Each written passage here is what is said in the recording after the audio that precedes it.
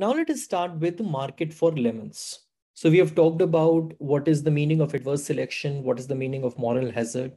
Now let us do a simple model for uh, adverse selection. So let's have a look at this. So we are talking about the used car market. So the assumption is that there are 100 sellers of used car. Right and there are 100 sellers, sorry, 100 buyers.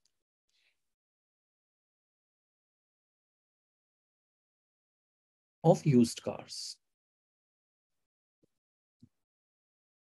Hmm.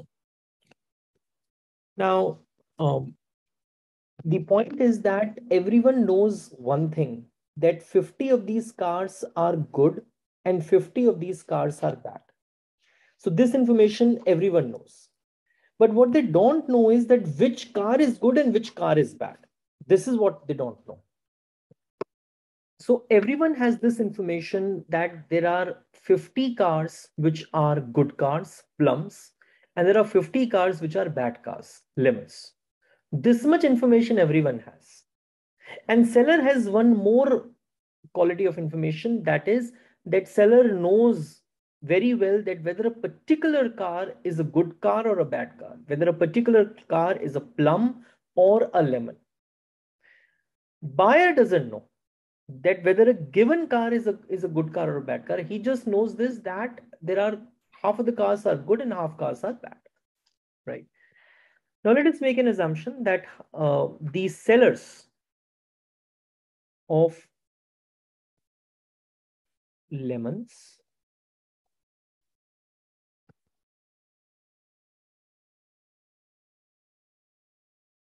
and there are sellers of plums.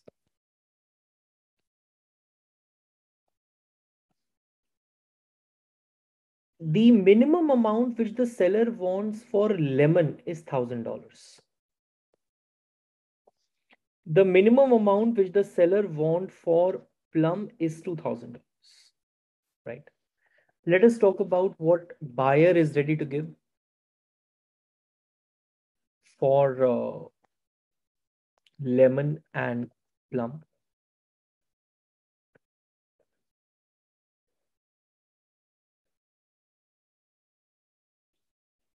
So buyer is ready to give at max $1,200 for a lemon and at max $2,400 for a plum, good car. So these are the assumptions. Now there are two cases which will arise. One of the cases that the buyer can verify the quality of the car. And in the another case, buyer cannot verify the quality of the car. There are two cases when buyers can verify the quality of the car and the when buyers cannot verify the quality of the car. Now, when they can verify the quality of the car, supposedly I am the buyer. I know that looking at the car, I can understand that this is a bad car. For the bad car, I am at max willing to pay only $1,200 and you are the seller of the bad car. You have understood that i have verified the quality of the car. You know that the minimum which you are willing to sell uh, is at thousand dollars this bad car. So if you can if i can verify the quality of the car then the price the minimum price which you are willing to accept and the maximum price which i am willing to pay the equilibrium price is going to be between them. It depends on the bargaining power of of each of us. So when buyers can verify the quality of the car, it is easy that the price is going to range from the maximum price which the buyer is willing to pay and the minimum price which the which the seller is willing to accept. So the lemon is going to be sold between thousand and twelve hundred dollars, and the plum is going to be sold between two thousand and twenty four hundred dollars. Please write it. The lemons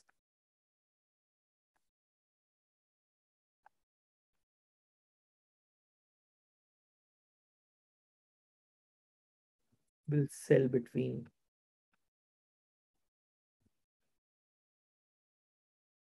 thousand dollars and twelve hundred dollars while uh, the plums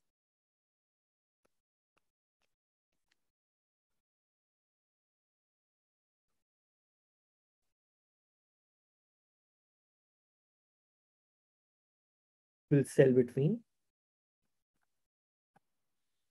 $2,000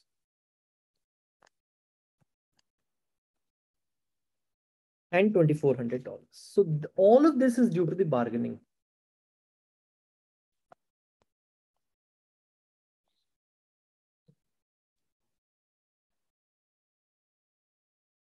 Right? So this is about when the buyers can verify the quality of the car. Now the interesting case is when the buyers cannot verify the quality of the car. Well, buyers know one thing for sure that half of these cars are good and half of these cars are bad. They know this that beforehand they don't know what kind of car they will end up with. It is only once they will take the car on the road, they will understand its mileage, they will understand its properties, and then they can verify whether it is good or bad. But beforehand, before making the purchase, they don't. They don't know whether they are buying the good quality car or they are buying the bad quality car right? So the idea is the buyers, they have to make the guess about the quality of the car, right? So there are two or three points out here. One, in this case, buyers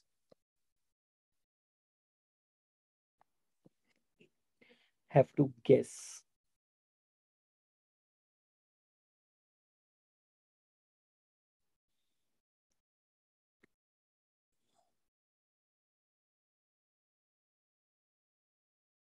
about how much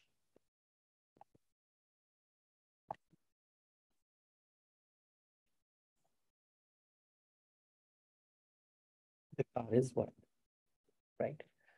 Uh, so buyer is going to think in his head that it is equally likely that I can, because half of the cars are good and half the cars are bad. It is equally likely that I can end up with a good car or, or a bad car. So why should I be paying the higher price? I will be paying only the expected price, right? That's the best what uh, is going to be there. So please write, suppose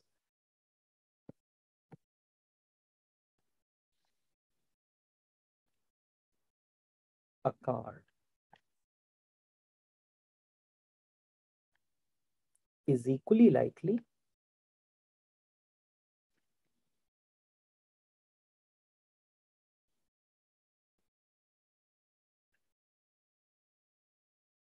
be a plum.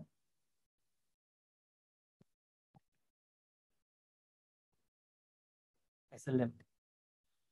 And this information, uh, everyone has that 50 of the cars out of the 100 cars, they are good and 50 of them are bad. Then a typical buyer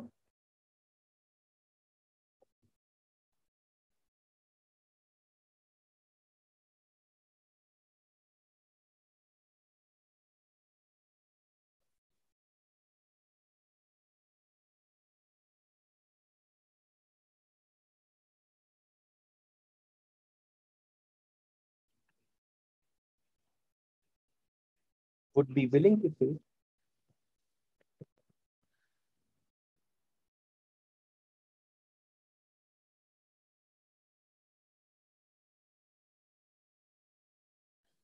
the expected value of the car.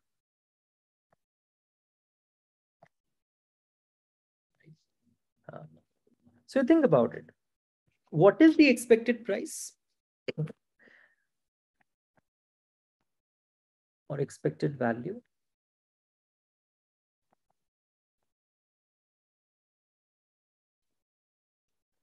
With the probability half, I will end up with a good car, plum. And I'm willing to pay 2400 at max for a plum. With probability half, I'm uh, uh, I will end up with a lemon.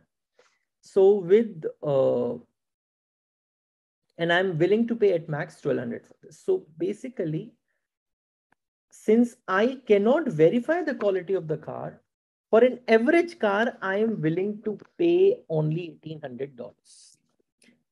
And don't you think the next question which should arise in our head is that at $1,800, who do you think the seller of a plum or a seller of uh, a lemon would be willing to sell? Supposedly, I am the seller of a lemon. I was willing to accept minimum thousand dollars You are paying me $1,800 for the average car. I am more than willing to sell you. Supposedly, if I would have been the seller of a plum, I was willing to accept minimum $2,000. But for an average car, you are willing to pay me only $1,800. I will then not be willing to sell you plum, right? So at $1,800, only lemons will be sold. That's an idea. So please write.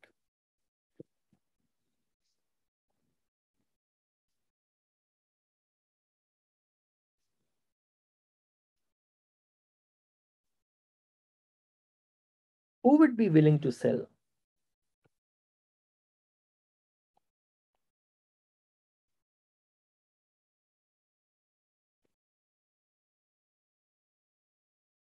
Their car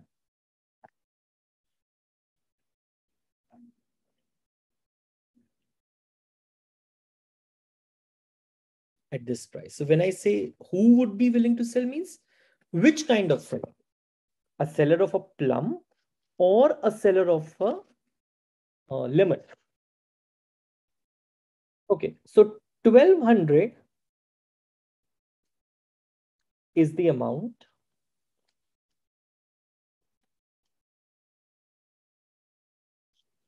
which buyers want to give.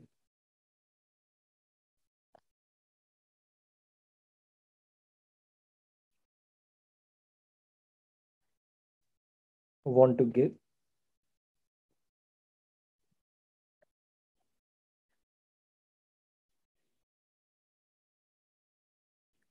or lemons.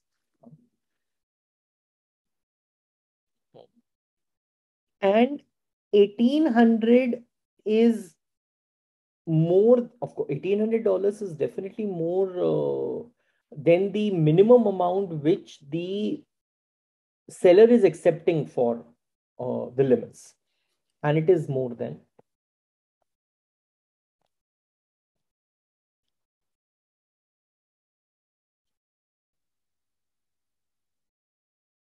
the minimum price.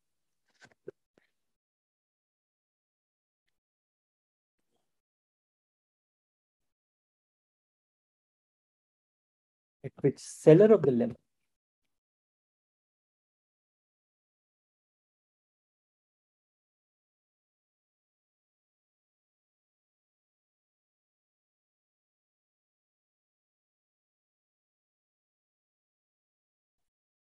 would want to sell. Uh, so don't you think only lemons are going to be sold at $1,800? So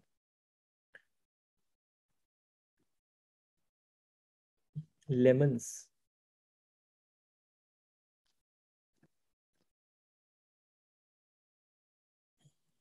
would be sold at $1,800.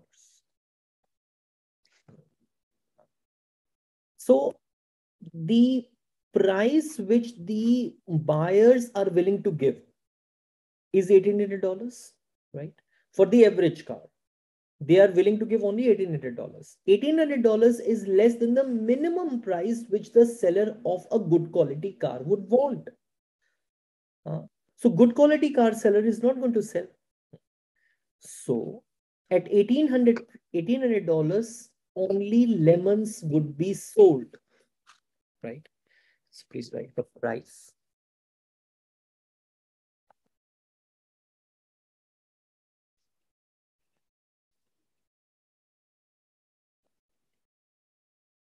That the buyers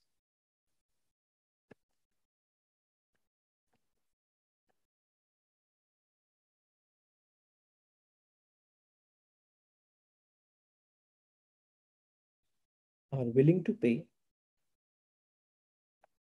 for an average car. So they are willing to pay $1,800. Seller of the plum is willing to accept $2,000. So at least a good quality car seller is not going to sell at $1,800. Who are going to sell? Only the sellers of lemons. Are willing to pay for an average car is less than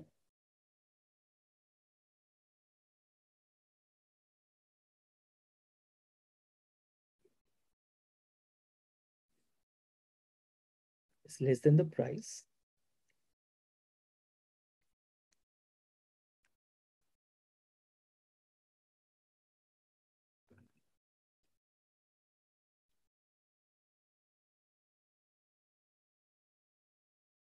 That the seller of the plums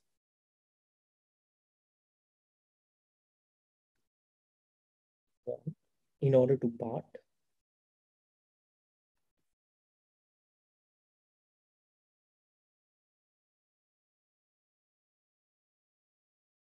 with their cars.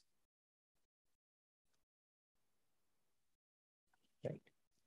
So at a price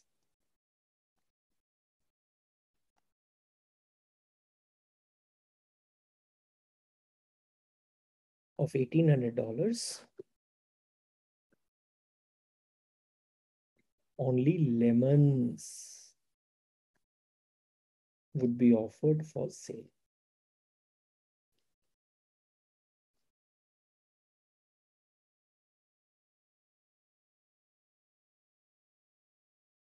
Right?